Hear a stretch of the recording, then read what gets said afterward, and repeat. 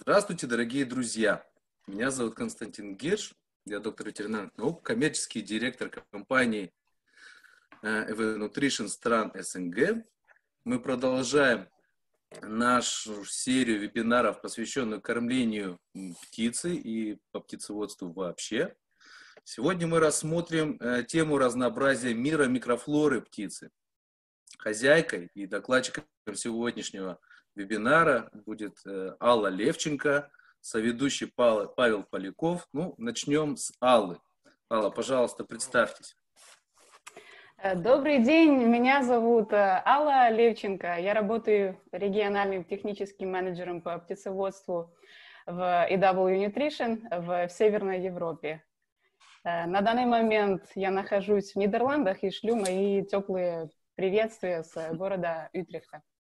Мой профессиональный опыт состоит с работы в крупной птицефабрике в Англии, примиксной компании в Европе и отделе разработки и исследований по птицеводству в мультинациональной компании по производству кормов и кормовых добавок. Э, мы сегодня поговорим на тему показателей продуктивности бройлеров. И перед тем, как начать, я хочу передать э, также слово моему коллеге Павлу Полякову. Маша, пожалуйста.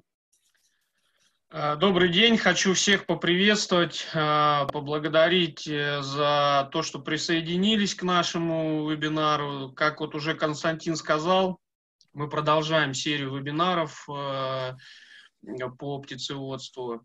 Я являюсь заместителем генерального директора по техническому сопровождению, я ветеринарный врач, отвечаю за регион России. Я думаю, что нужно передать э, слово Алле, и она начнет э, сегодняшнюю презентацию. В конце, после презентации, мы обсудим э, некоторые вопросы, будем ждать от вас этих вопросов, ну и будем обсуждать и попытаемся максимально ответить на них. Все вопросы, которые мы не успеем ответить, а, вы в любом случае получите э, эти ответы э, в рассылке в почте. Мы в любом случае ответим на них, но, может быть, немножко попозже. Да, друзья, оставайтесь, пожалуйста, с нами э, до конца, так как мы обещаем вам много очень-очень интересной информации. И в конце нашего вебинара вы, как Павел уже сказал, вы будете иметь возможность получить свои э, ответы на свои вопросы, а на те вопросы, которые мы не сможем просто из-за того, что время, время у нас ограничено ответить, вы получите, естественно, письменно. Ни один вопрос не останется без ответа. Мы вам это обещаем. Итак, Алла, начнем. Спасибо большое, э, Костя и Паша. Э, на протяжении сегодняшней сессии мы рассмотрим следующие пункты. Введение, то есть мы уже э, этим занимаемся сейчас. Потом посмотрим на существующие сведения о микрофлоре кишечника птицы, эм, бройлеров. Потом посмотрим и рассмотрим вопрос присутствия патогенов, их функции и связанные с ними риски. Потом также пройдемся по набору инструментов э, для укрепления здоровья кишечника э, бройлеров. И, конечно же, закончим э, выводами. Ну, давайте начнем. Существует ряд факторов, влияющих на продуктивность птицы, начиная с родительского поголовья, его содержания и питания, качество суточных цыплят, которое тоже зависит от условий содержания родителей и условий инкубации, кормление и содержание э, самих э, бройлеров, а также от э, правильного подхода с программами вакцинирования. Объектом внимания нашей сегодняшней презентации является состояние желудочно-кишечного тракта и более подробно микрофлоры кишечника. И здесь нашей задачей является поддержка оптимального баланса микрофлоры и содержание минимального количества э, патогенных э, э, микроорганизмов, патогенных бактерий. Давайте продолжим с обзором научных фактов о микрофлоре. И рассмотрим этот довольно такой загруженный слайд. Пожалуйста, оставайтесь со мной. Эм, эта диаграмма э, представляет собой попытку охватить все факторы, которые влияют на состав микрофлоры кишечника. И микрофлора в кишечнике представляет собой довольно сложный, но в то же время захватывающий мир, в котором существует множество факторов, Э, которые напрямую или посредственно влияют на состав э, микрофлоры кишечника.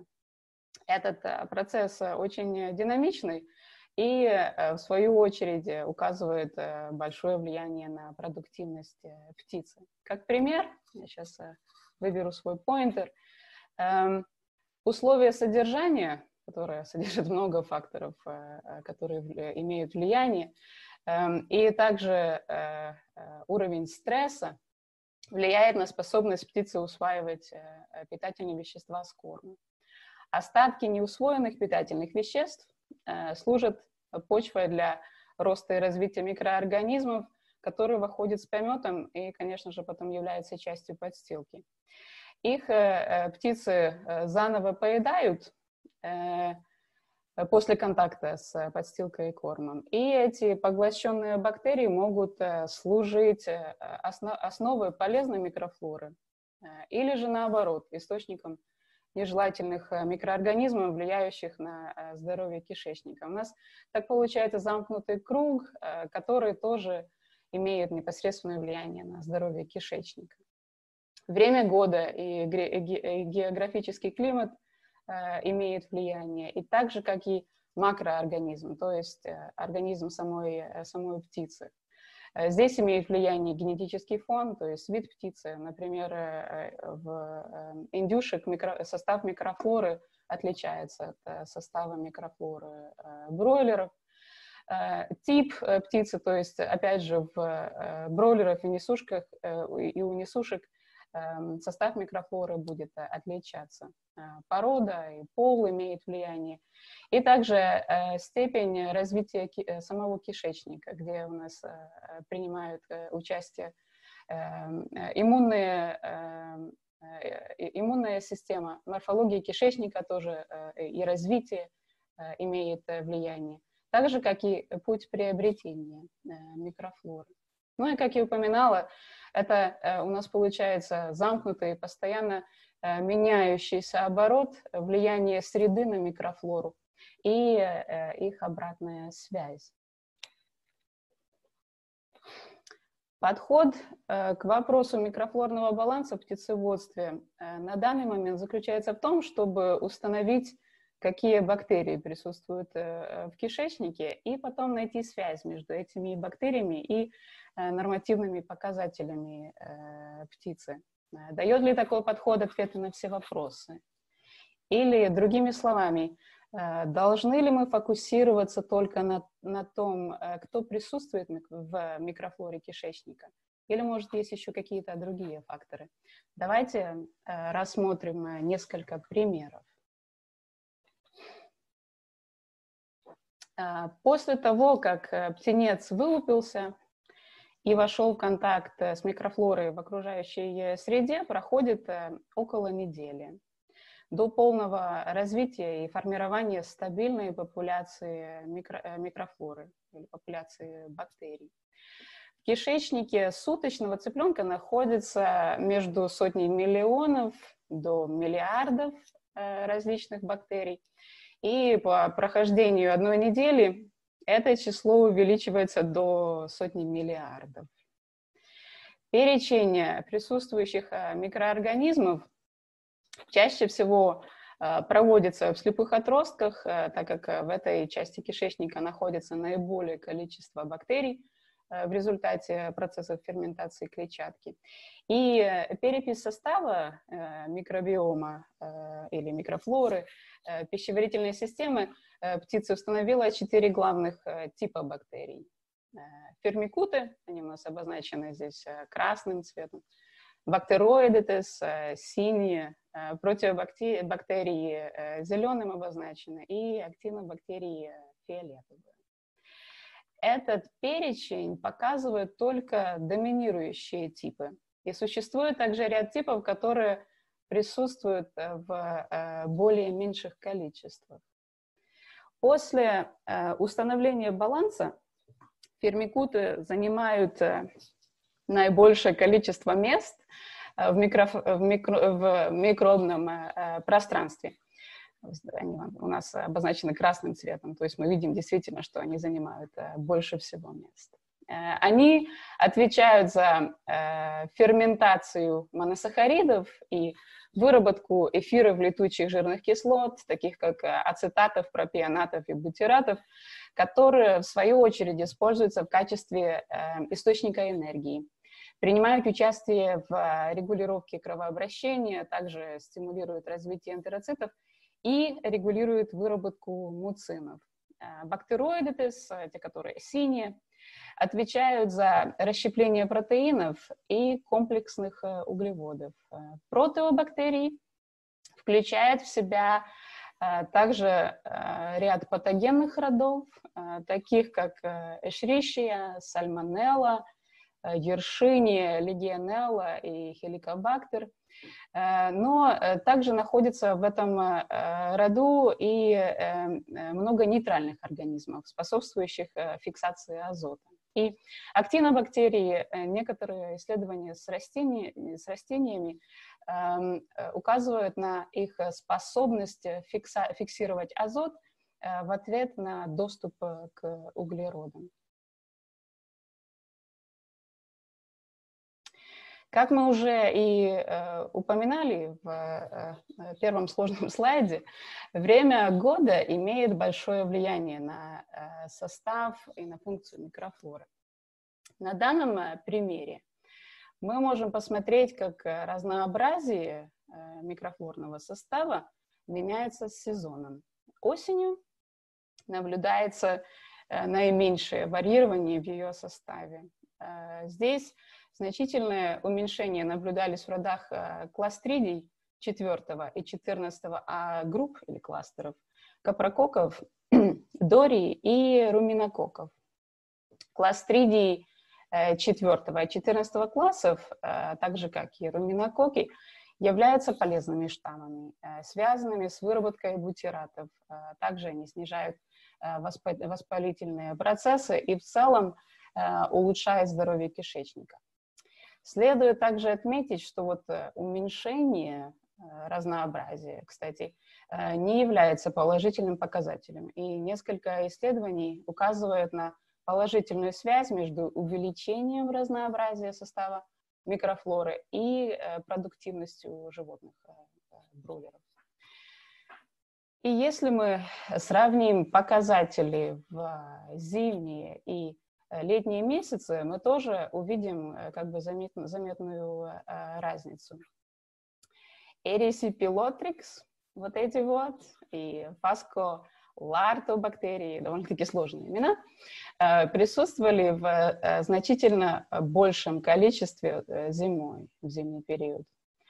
Эрисипилотрикс рузиопатии известен как патоген, вызывающий рожистое воспаление. Хотя по 16S РНК э, секвенированию Эрисипилотрикс э, тоже э, оказывается сходным с кластридиями 16 группы, которые, кстати, полезные бактерии. То есть все еще зависит от качества анализа и определения, в какую группу, какое семейство организм принадлежит.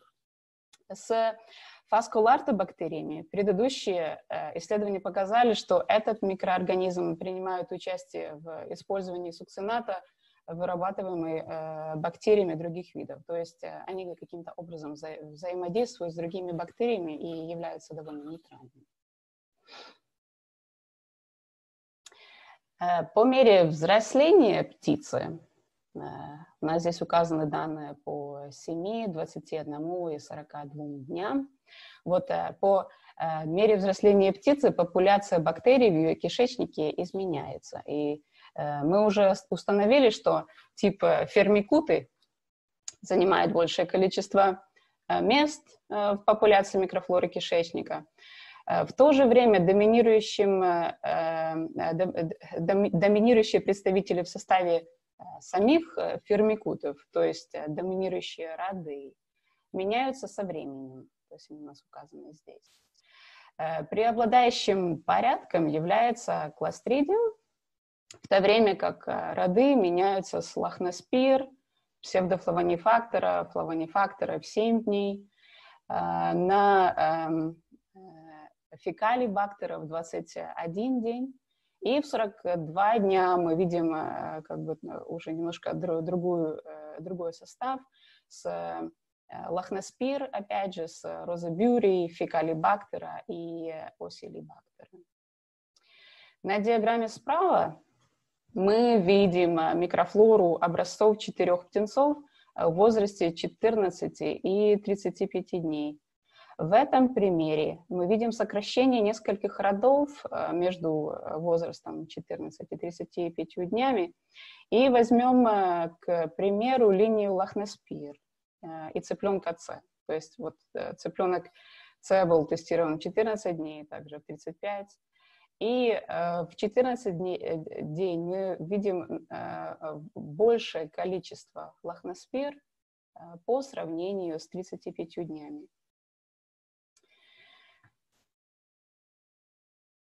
Остаемся в том же эксперименте, то есть э, в, том же исследовании. И в предыдущем слайде мы рассмотрели изменение количественного состава микрофлоры.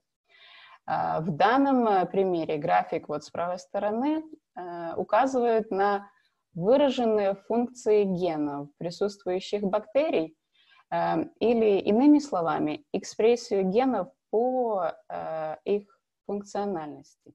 И здесь интересное наблюдение, что несмотря на явные изменения в количестве э, присутствующих бактерий, их э, общие метаболические функции продолжают быть постоянными. То есть если мы возьмем вот линию коэнзим, коэнзим метаболизм, то есть функция, э, и посмотрим на разницу между 14 и 35 днями, вот этот уровень функций остается одинаковым или почти не, неизменным.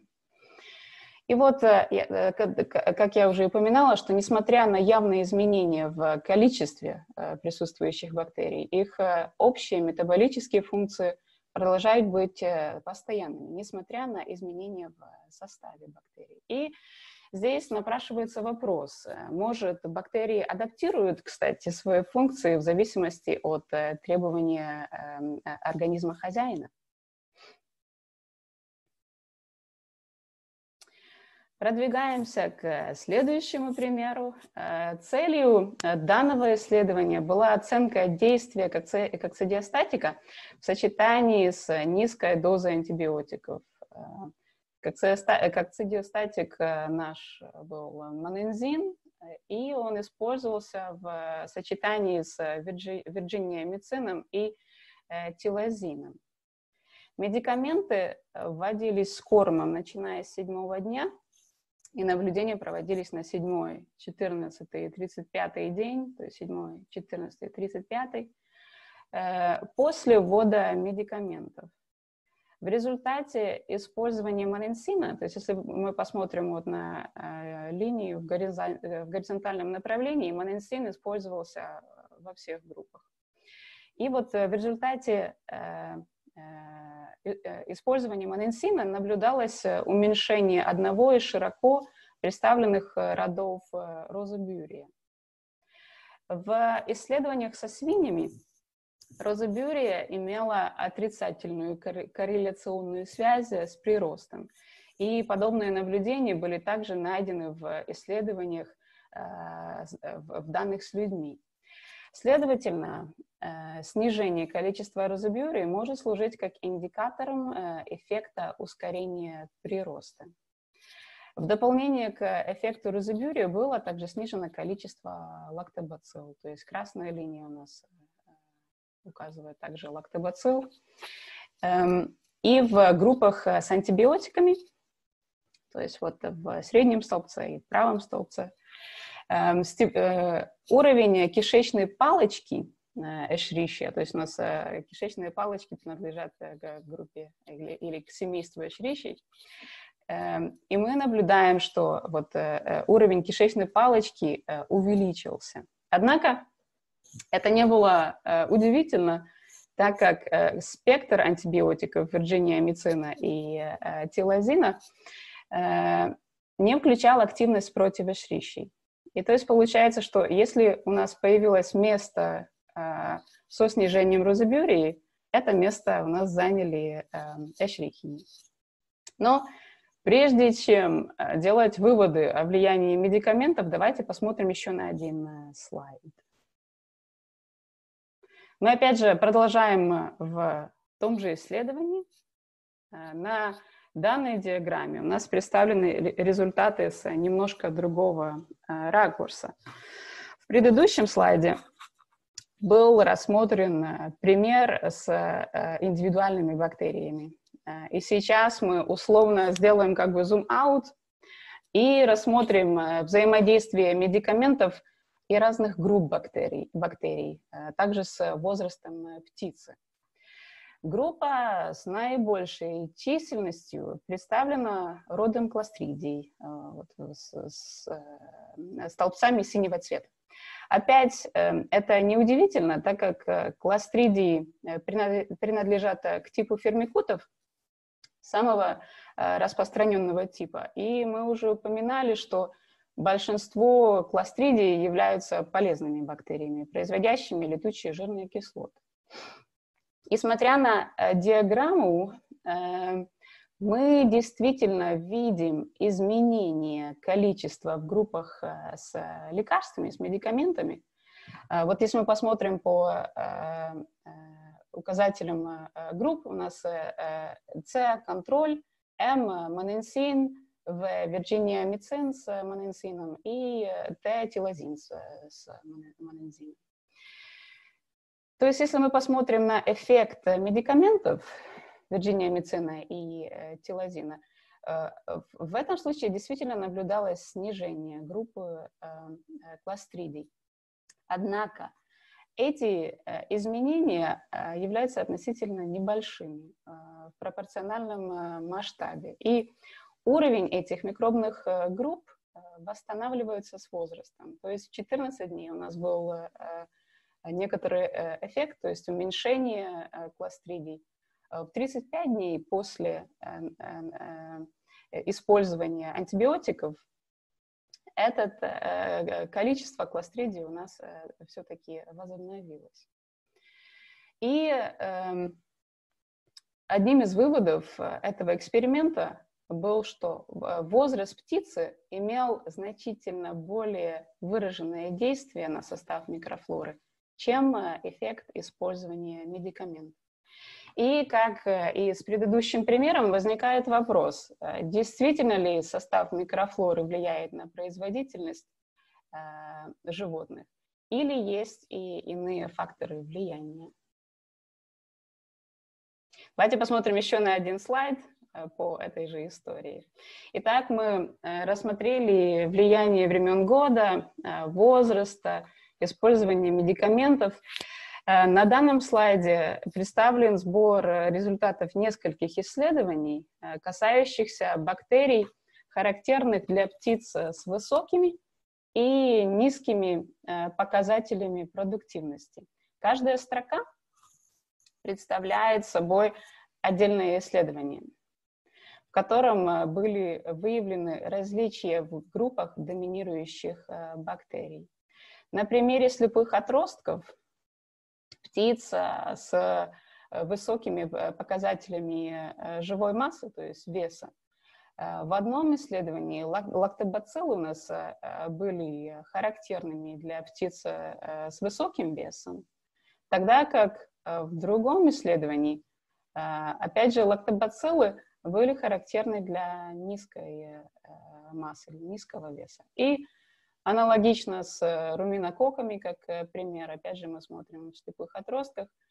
Эм, в одном исследовании мы, мы видим, что руминококки э, как бы являются характерными для птиц с высокой продуктивностью, то есть в этом случае с низкой конверсией корма.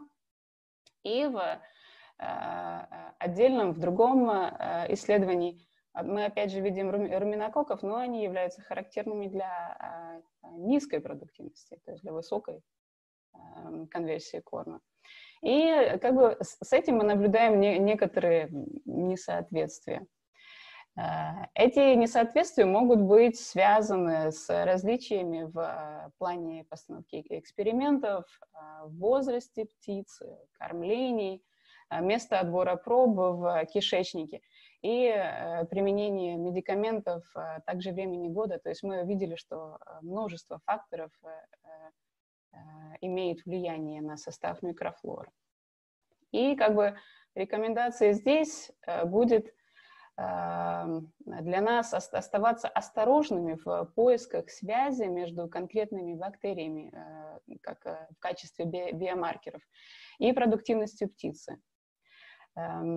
Последовательность методов исследований, место отбора проб, э, план эксперимента, а также интерпретация функции бактерий чрезвычайно важны для принятия обоснованного и правильного вывода. И э, когда вы видите результаты, э, спросите себя, где была взята проба, какой метод использовался, в какое время года отбирались птицы и использовались ли антибиотики. Итак, э, в заключении рассмотренных примеров эм, и немножко продолжении вопроса, которого мы, с которым мы начали э, презентацию, э, функции микроорганизмов. Функции, кстати, могут быть более важными, чем сама структура микрофлоры. В продолжении нашей э, темы мы поговорим о присутствии и функциях, э, э, связанными с присутствием патогенов, их функциях и связанными с ними рисками. В густо населенном сообществе микрофлоры также находятся и нежелательные бактерии. Наиболее э, нам знакомые имена э, – Clostridia perfringens, э, кишечная палочка, сальмонелла, кампилобактер. Часто богатый белком корм, содержащий относительно высокие концентрации плохо усвояемых белков, приводит к высоким концентрациям остатков этих неусвоенных белков в кишечнике. И таким образом действующим как субстрат для развития нежелательных протеолитических э, бактерий. Э, другие факторы, которые могут привести к увеличению роста этих нежелательных микроорганизмов, могут быть иммуносупрессорные заболевания, внезапное изменение в составе корма, пшеница в отсутствии ферментов, корм, содержащий рожь, то есть так называемые карма с высокой вязкостью эм, или, э, например, низкого качества рыбная мука э, может быть э, проблематичной. И изменения в нормальной микрофлоре кишечника, кишечника вследствие лечения антибиотиками или неправильного использования вакцинации. Сейчас э, кратко в некоторых э, деталях о кишечной палочке. Эм, эта, эта бактерия присутствует э, в небольшом количестве в течение всей жизни организма, то есть птицы. Некоторые штаммы могут вызывать вторичные инфекции вследствие респираторных инфекций, таких как микоплазма галицептикум, и после физиологических изменений, таких как перитонита. В отличие от других э, видов э, птичья патогенная кишечная палочка не обладает набором э, генов вирулентности. И некоторые изоляты птичьей патогенной кишечной палочки имеют сходство в генах с кишечной палочкой, вызывающей проблемы у людей. И следовательно предполагают, что некоторые птичьи патогенные кишечные палочки – могут быть зоонозными. Однако э, четкой связи а, а, не наблюдалось. Хотя зоонетический потенциал э, птичьей патогенной э, кишечной палочки не ясен. Некоторые исследования показывают, что кишечная микрофлора, включая также кишечную палочку, может служить резервуаром устойчивости к антибиотикам. И передавать резистентную, э, резистентность э, к зоонозным э, патогенам, как сальмонелла. И тогда, если вот эта вот резистентность у нас тоже эм, передана сальмон, сальмонелл, сальмонелле, которая является проблемой у людей, проблемы у людей увеличиваются. Тоже вкратце о Clostridium perfringens. Эм, этот организм присутствует в популяции комменсальных бактерий тоже в довольно небольшом количестве, в меньшинстве. Многие представители этого семейства э, являются полезными штаммами, связанными с выработкой бутирата и снижением воспаления. То есть об этом мы уже упоминали и раньше э, в, э, в сегодняшней презентации. И также кластридиация, как семейство, помогают с улучшением здоровья кишечника птицы в целом. Однако э, классидиальная популяция включает также некоторые виды, которые являются патогенными э, для домашней птицы. И вот здесь у нас имена Clostridium perfringens, Septicum, Calinum. И perfringens вызывает э, всем нам известный некротический энтерит у домашней птицы. Патогенные изоляты птичьего типа содержат новый тип токсина, которым к счастью, э, человеческие прототипы не обладают. Это очень сильный токсин, и он разрушает клетки и эпителия в кишечнике. Э, перфрингенс – э, это также человеческий патоген, передающийся через пищу, который прослеживается в разных источниках, включая пищевые продукты птичьего происхождения. И если у нас имеются проблемы с нежелательными бактериями, нам, конечно же, нужны и их э, эффективные решения. Давайте посмотрим на несколько примеров. Э, в комплекте инструментов, доступных для специалистов по кормлению и ветеринарных врачей, мы имеем ряд вариантов и альтернатив к антибиотикам э, в качестве корм кормовых добавок и препаратов, добавляемых с водой. С кормовыми добавками мы имеем четыре основные категории – фитобиотики, про и пребиотики, короткоцепочечные, среднецепочечные жирные кислоты и производные э, дрожжей. Фитобиотики у нас обладают антимикробными средствами, они поддерживают функцию э, пищеварительного тракта, стимулируют э, иммунную систему и обладают свойствами антиоксидантов. Про биотики Э, стимулируют э, э, также иммунную систему и обладают свойством конкурентного исключения патогенов. И пребиотики адсорбируют нежелательные бактерии и являются субстратом для брожения, опять же, для выработки летучих жирных кислот. Эм, жирные кислоты короткоцепочные и среднецепочечные обладают э, э, сильными антимикробными свойствами в зависимости от э, длины углеродной цепочки, и они также служат источником энергии в кормах. Производные дрожжей ингибируют патогенов, имеют порой пребиотический эффект в зависимости от типа и э, улучшают пролиферацию, развитие э, энтероцитов.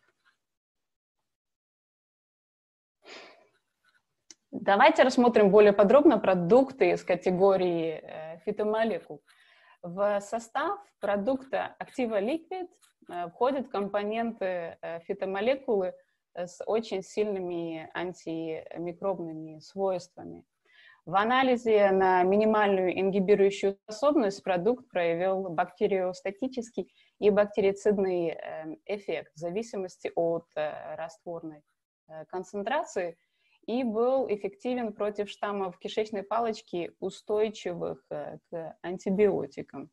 В качестве контроля у нас использовался цефотоксин, который был, кстати, неэффективным, неэффективным против э, устойчивых штаммов кишечной палочки и оказал э, бактериостатический эффект против э, не, э, неустойчивого, э, против неустойчивого штамма.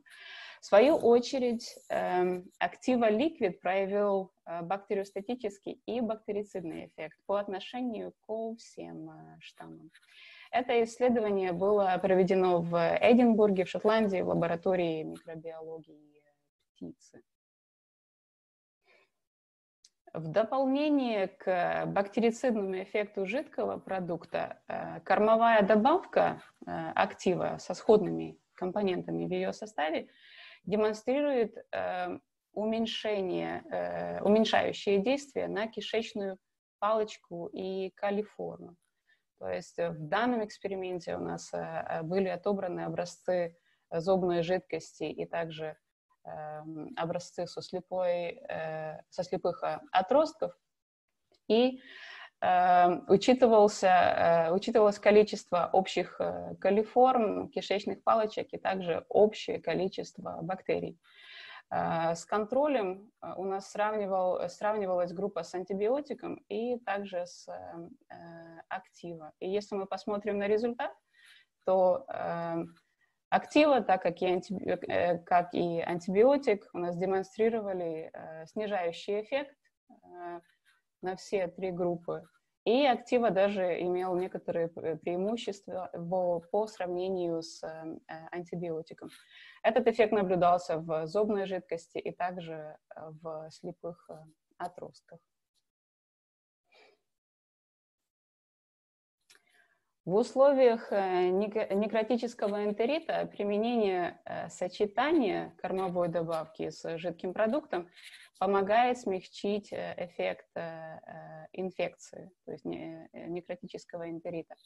Данный эксперимент состоял из четырех групп цыплят, бройлеров. Первая группа контрольная, вторая у нас с инокуляцией perfringens – Э, в 19, 20 и 21 дней. Э, третья группа с инокуляцией и с добавлением э, эм, кормовой добавки актива. Четвертая группа у нас опять же была с инокуляцией кластридии и с сочетанием кормовой добавки и также актива ликвид, то есть жидкого продукта. На 21 дне кишечник трех цыплят из каждой группы был исследован на, протяжении, на поражение, связанное с некротическим э, энтеритом, и эффект был обнаружен в улучшении конверсии корма по сравнению с пораженной инфицированной группой, снижением э, поражений некротического типа и особенно снижением падежа, связанного, связанного с некротическим э, энтеритом.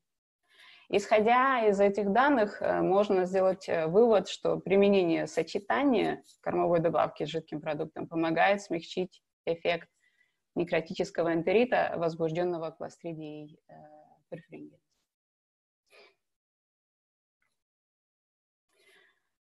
Ну вот, мы рассмотрели несколько примеров о составе, состоянии микрофлоры кишечника и факторы, которые влияют на это. Мы также рассмотрели вкратце э, несколько присутствующих патогенов, их э, функции и риски. Также посмотрели на э, набор инструментов с кормовыми добавками, также с жидкими препаратами. И сейчас, конечно же, у нас время коротких выводов.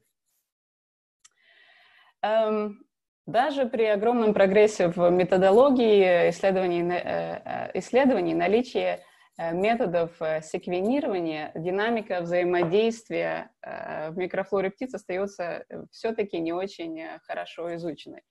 На популяцию микробиом, микробного сообщества влияют очень много факторов, мы это уже видели в нескольких слайдах. И эти факторы включают в себя окружающую среду, такие как времена года, корм, генетика и э, также внутренние факторы, то есть факторы, которые связаны с организмом самой птицы. Нам чрезвычайно важно получить э, знания и развить методы исследований, выявляющие риск э, возникновения развития патогенных микроорганизмов на ранних стадиях. И это позволило бы нам, как производителям птицы, заблаговременно остановить и, или полностью предотвратить э, заболевание. Существующие на данный момент альтернативы э, обычным лекарственным препаратам, такие как фитомолекулярные соединения, эффективны в профилактических целях для укрепления здоровья кишечника, а жидкие продукты можно использовать в качестве эффективного и быстрого решения во время острых проблем. Ну и сейчас у нас время э, для вопросов и ответов.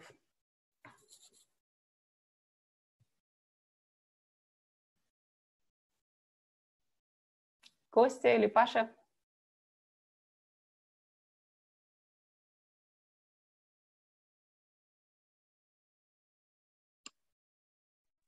Алло, да, сейчас слышно меня, да? Э, у меня есть, конечно же, к тебе вопрос, и мы э, обсуждали это. Я хотел бы этот вопрос все-таки как-то э, выставить на общее обсуждение для наших гостей тоже. Итак, получается, что многокомпонентность или сложность состава того же пробиотика не совсем является ключом успеха выращивания птицы. То есть здесь нужно точно знать, какой состав, какой именно штамм и в каком продуктивном состоянии, или как сказать, я просто вспоминая твои, э, твою презентацию и видя этот слайд о э, высокопродуктивной птице, низкопродуктивной птице, соответственно, состав микрофлоры отличается у них. И, соответственно, здесь нужно тоже обращать на это внимание, не просто брать какой-то определенный стандартный набор микроорганизмов и предлагать э, птице, думая, что это и есть ключ к успеху, или, или это не так? Как, как вот это действительно должно работать?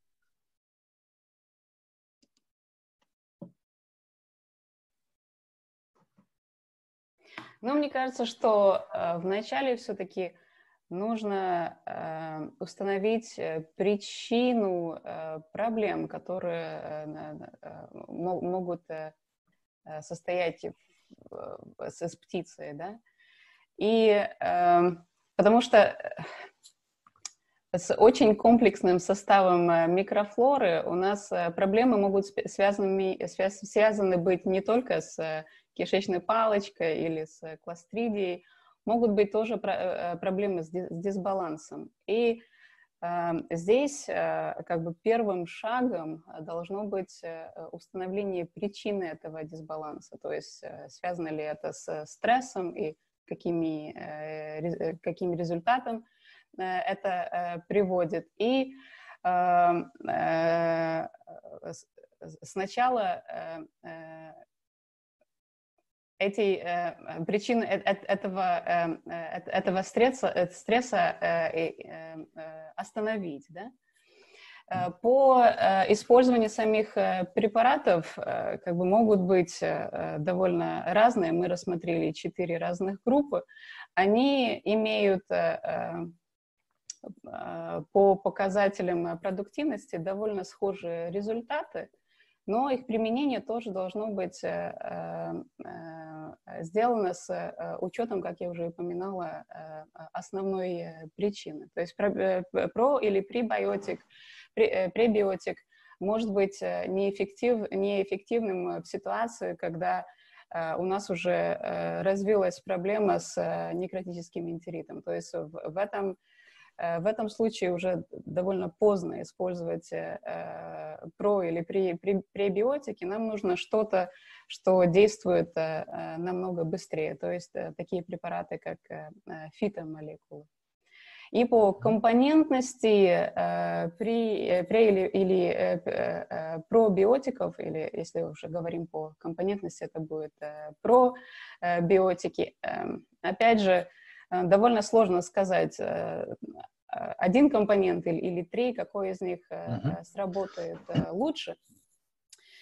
Все зависит от изначального состояния кишечника и, uh-huh. и его, его здоровья. И тоже условиям, предоставленным для развития этих пробиотиков. То есть им, им, им нужно тоже субстрат и почва для, для развития. Угу, спасибо, Алла. Э, вот как раз э, в этой связи э, разные, разные идут группы кормовых добавок и, как, как говорится, инструментов для укрепления здорового кишечника.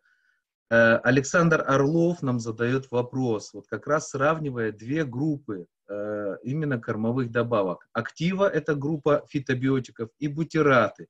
Можно эти группы считать аналогами.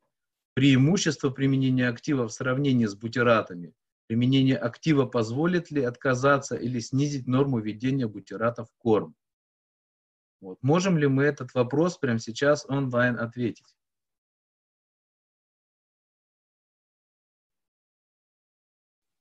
Ну, мне кажется, здесь, э, опять же, все зависит, зависит от э, среды и от э, причины проблемы. То есть Бутираты у нас, мы их уже упоминали в презентации, они имеют положительное влияние на, на состояние кишечника. Эм, я бы сказала, что в особенности жидкие активы э, имеют немножко другую функцию, то есть э, он используется в ситуации, когда у вас уже острые проблемы. Бутираты же могут использоваться с э, первого дня и до, до конца выращивания как немножко как, помогите, помогите с переводом, как safety program, то есть как, как insurance. Подстраховка. Как, как подстраховка. И э, если вы меня спросите, э, э, э, сочетание актива как кормовой добавки и бутирата, будет ли эффект 1 плюс 1 э, равняться двум, я бы с этим затруднилась, и опять же ссылку сделала бы на состояние и э, э, на условия выращивания, может в, каких-то условиях будет как бы этот двойной эффект. Но если условия выращивания довольно нормальные, потому что сказать, что хорошие, в принципе, наверное, в практике это довольно сложно найти, даже если посмотрим в Европе. Но моя рекомендация была бы использовать один препарат как вот в, в, в целях подстраховки, и использовать э, э, также э, препараты в случаях, когда у вас присутствуют очень уже такие острые проблемы. Паша, может быть, ты что-то добавишь? Ну, да, да, я дополню. Если говорить о жидком и сухом, то э, мы, э, говоря об этих продуктах, понимаем, что любой жидкий продукт, э, который направлен на бактерицидное действие, он все-таки в большей степени будет работать в верхнем отделе желудочно-кишечного тракта. А, это связано все-таки с эм, разницей в pH на всем протяжении желудочно-кишечного тракта. И после активной ферментации, которая происходит э, в 12-перстной кишке, естественно, pH меняется. И многие жидкие продукты начинают терять э, свою активность. Вот э, почему и Алла говорит, что лучше жидкие продукты использовать э, в тех моментах, где действительно появилась проблема острая, да, то есть действовать быстро и незамедлительно. Сухой продукт, он в большей степени работает в дистальной части желудочно-кишечного тракта, так как он микроинкапсулированный, он, э, ну, можно так сказать, и разработан для того, чтобы э, вещества, полезные компоненты дошли именно в те части кишечника, где они в большей степени необходимы, где они и должны, скажем так, стабилизировать и держать под контролем вот этот э, баланс э, микрофлоры, за которую говорила в презентации э, Алла.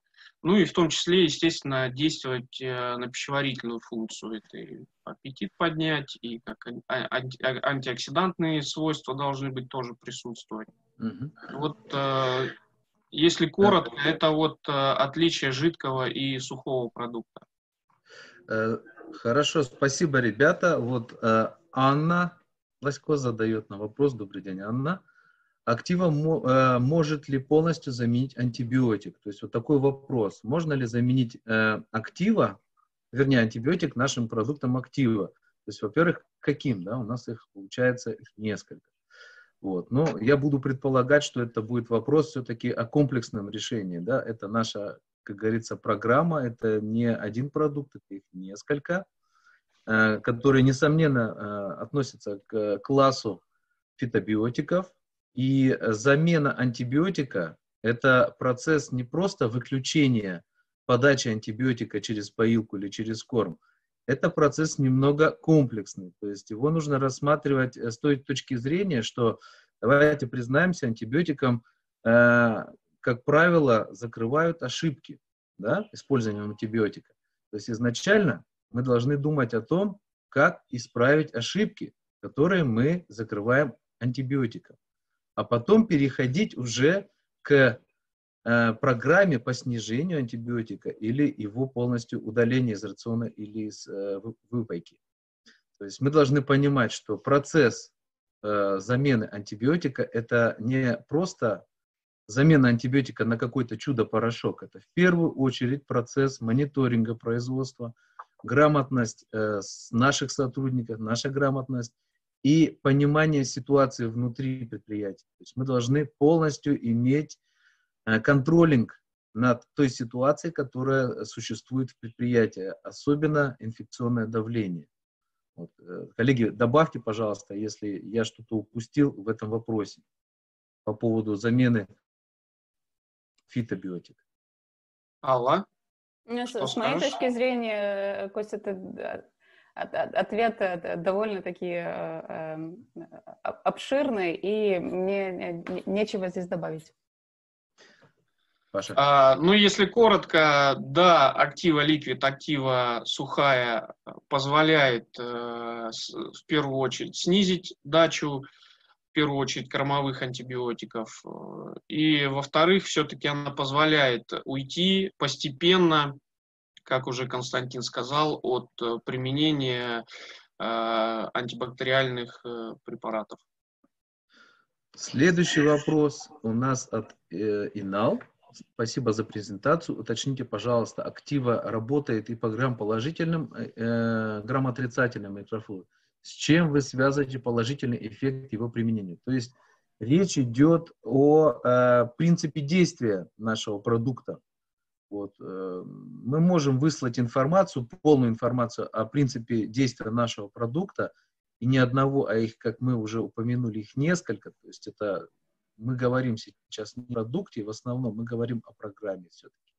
То есть мы подаем э, фитомолекулы не только через корм, мы подаем их тоже и через э, выпайку, и все это очень-очень должно быть на, настроено. То есть мы, у нас нет универсальной формулы, возьмите вот это плюс вот это, и у вас будет все в порядке. Нет. Мы должны четко знать э, условия фермы, условия хозяйства. Мы должны подходить э, каждому индивидуально. То есть здесь Э, принцип действия это, в принципе, уже Алла немного э, пояснила, как, как это все работает. Алла, может быть, ты немножко чуть-чуть просто коснуться, у нас не так много времени. Можно я коротко дополню? Или дополни, пожалуйста. Да, доказан эффект, э, что актива действует на большинство грамм-положительных бактерий, в том числе и на грамм-отрицательных. У нас есть слайды, мы их э, показываем в своих презентациях по этим продуктам, где четко видно чувствительность э, некоторых бактерий, некоторых групп бактерий к различным дозировкам и э, различным дозировкам активы. И это можно, я думаю, более детально обсудить и показать. Свяжитесь с нами, мы обсудим это и покажем более подробно, скажем так. А так, да, доказан эффект на грамм-положительную и грамм-отрицательную микрофлору. И в большей степени положительный эффект в этом и заключается, что они действуют на большинство грамм-положительных, грамм-отрицательных, плюс отсутствие э, чувствительности, не чувствительности, а резистентности к этим компонентам. Хорошо. Хорошо. Э, ребята, у нас осталось не так много времени, а вопросов достаточно больше и больше прибавляется. Я предлагаю убыстрить темп. Э, Елена Корнилова. Лена, добрый день. Очень приятно тебя видеть в чате. Э, в России на каких предприятиях уже используется актива? Какие результаты? То есть речь идет о наших результатах, Паша. Я думаю, что мы могли бы это все-таки, ну, немного, пару предприятий назвать, конечно, но я бы сказал, я бы больше эм, рассказал немного о результатах.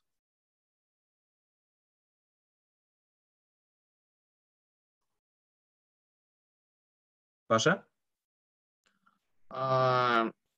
Коротко о том, что вы в России делаете. Какие у вас э, есть э, успехи по применению актива? Ну, э, у нас есть э, предприятия, которые уже э, опробовали актива, актива ликвид. Э, ситуация у всех, естественно, разная. Подход должен быть разный к Э, к проблеме, да, потому что проблемы э, разного характера. И, соответственно, мы, применяя эти продукты в предприятиях, естественно, разрабатываем программы. Если брать сухой продукт, то, естественно, он должен применяться по умолчанию в корма с первого дня Э, выращивания и до забоя. Если говорить о жидком продукте, то тут уже а, подход э, иной. Мы должны изучить ситуацию, проблематика, которая есть на предприятии, соответственно, уже исходя из этой э, схемы вакцинации, и, соответственно, потом мы предлагаем и а, внедряем эту, этот продукт. А, некоторые предприятия, которые уже попробовали, есть положительный эффект, есть положительные отзывы об этих продуктах. А, у всех, а, скажем так, направления немножко разное. Кто-то хочет э, решить э, вопрос и подходит э, к, к теме снижения а, антибактериальных э, препаратов при выращивании птицы.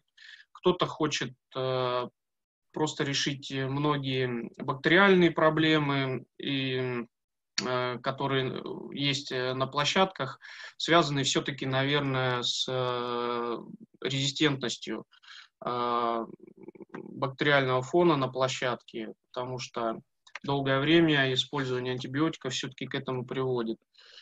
Я конкретику не могу сказать э, по предприятиям, но если свяжетесь с нами, мы более детально можем это обговорить, и я уже непосредственно покажу обезличенные итоги наших, нашей работы на некоторых предприятиях. Угу. Ребят, э, есть э, еще один на мой взгляд, такой интересный вопрос. Если можно, чуть подробнее расскажите о влиянии схемы вакцинации на микробиом кишечника. Интересует ваше видение проблемы. Я думаю, Алла, это, наверное, к тебе или Паша, ты как-то? Именно ну, я могу, я могу ответить, Алла дополнит. Я думаю, Алла дополнит. Давайте. А, естественно, а, говоря о схеме вакцинации а, на предприятиях, везде она разная. Эпизиотическое состояние площадок э, разное. Но мы должны понимать, что любой вирус, э, он э, провоцирует бактериальные проблемы. Любые осложнения вакцинации, они приводят к возникновению, естественно, бактериальных инфекций. Естественно, любая схема вакцинации напрямую влияет на, скажем так, микрофлору и тот бактериальный фон, который есть э, на площадке. Алла? Ну, я бы здесь тоже добавила, что, э, в принципе, вакцинирование тоже увеличивает уровень стресса. И э, э, уровень стресса также влияет на состояние кишечника э, напрямую или э, посредственно также на э, состав микрофлоры. То есть Э, э, сказать или э, сделать четкое определение, какая именно вакцина имеет влияние на какой-то определенный тип бактерий, мы не можем, но что мы часто наблюдаем, то, что особенно в период вакцинации у нас наблюдаются показатели или симптомы дис, дисбактериоза. И на протяжении этих периодов мы рекомендуем также использовать определенные препараты, которые вот, э, э, помогают с поддержкой э, состояния микрофлоры и также эм, кишечника, здоровья кишечника. Ну, да, научно, научно доказано, что э, вот э, гормон стресса, кортизол, он очень сильно как раз-таки влияет на э, увеличение популяции, в первую очередь, кишечной палочки. Почему многие говорят о том, что нужно исключать факторы стресса в первую очередь при возникновении колибактериоза на площадке. Э, следующий вопрос, и, коллеги, я думаю, что он будет у нас э, в онлайн последний. Э, естественно, мы все на все вопросы ответим, но ответим, скорее всего, уже письменно, потому что у нас уже и так мы сверх нашего регламента временного. Значит, вопрос есть интересный. Сейчас, секундочку. Э, добрый день. Это вопрос от Руслана Рябинин. Добрый день. Подскажите результаты противомикробной активности, полученные в лаборатории. Есть ли опыт подтверждения этих данных на действующих э, производствах? То есть э, мы говорим сейчас о опытах инвиво, инвитро. Э, ребят, подскажите, Паша, как говорится, результаты с полей, которые мы уже немного э, осветили. Э, в этом плане у нас достаточно э, большой опыт проведения именно э, э, на полевых, в полевых условиях опытов, э, так как у нас по всему миру достаточно большое количество наш, наших партнеров, наших клиентов, которые очень довольны э, применением схем наших продуктов. Э, в первую очередь, конечно, это антимикробные э, применения, и все-таки мы возвращаемся к программе по снижению или ухода от использования антибиотиков, э, так как в цвете наших актуальных событий все-таки это очень и очень э, щепетильная такая проблема, актуальная проблема резистентности. Поэтому э, мы говорим здесь именно об этом. Мы не говорим только о какой-то антимикробных свойствах. Мы говорим о программе именно ухода от антибиотиков, да? то есть по снижению резистентности. И э, если, конечно же, вам интересны наши опыты на, в полевых условиях, мы с удовольствием предоставим вам Э, протоколы исследования, протоколы, подтверждающие эффективность применения нашей программы именно в этом э, фокусе, именно э, в программе снижения анти, э, резистентности антибиотиков. Паш, коллеги, добавьте. А, ну, как я уже говорил, да, у нас есть э, подтверждение лабораторных исследований по чувствительности, скажем так, э, основных э, патогенной, основной патогенной микрофлоры э, к, наш, ну, к компонентам э, актива. Э, что касаемо производства, опять же, я повторюсь, у всех ситуация разная, и применение было направлено на исключение раз, ну, разной, разного рода проблемы. Один из опытов показал, что применение активы ликвид на всем э, по, по определенной программе. Это первые пять дней, э, четвертая неделя жизни и э, пятая неделя жизни бройлера перед забоем показала ее эффективность. Птичник, на котором применялся, применялся этот продукт, сидел без антибиотиков, которые в контрольных э, птичниках э, задавался по стандартной программе. А, показатели получились по сохранности практически идентичны, что все-таки доказало эффективность. Но птичники, которые были на опыте с активой, все-таки показали лучшие, более, скажем так, лучшие производственные показатели. Это все было на первом этапе. Ну, как я уже говорил, это мы можем обсудить и показать уже индивидуально при связи с нами. Я хотел бы ответить, тут вопрос был по чувствительности к акцидиям. Да, доказана э, эффективность э, на эймерии, да, на кокцидии, но э, не доказано, скажем так, э, полностью влияние на кокцидию, как, допустим, э, химические или анафорные э, антибактериальные препараты, да. А, то есть э, можно сказать, что фитомолекулы влияют на кокцидии, они останавливают э, развитие, ту быструю, скажем так, э, то быстрое развитие и размножение популяции. Ну, если по-простому сказать, в большей степени действует как ионофор, нарушая внутриклеточный обмен действуя на оболочку, останавливает э, его дальнейшее развитие. Алла, дополнишь? Мне кажется, это, твой ответ был э, это, довольно точный и в то же время обширный, Павел. Спасибо. Друзья, я предлагаю уже завершить наш интересный вебинар. Эм, на мой взгляд, получилось очень неплохо, очень много вопросов, очень много положительных откликов о нашей работе.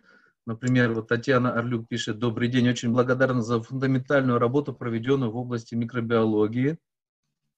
Э, спасибо за ответ, Николай Крокин. Это то, что была вакцина, э, при, э, как, как влияет вакцинация на микробиом кишечника – Елена Шацких поблагодарила за инф информативно, полезно, спасибо. Э, Алексей Малеша.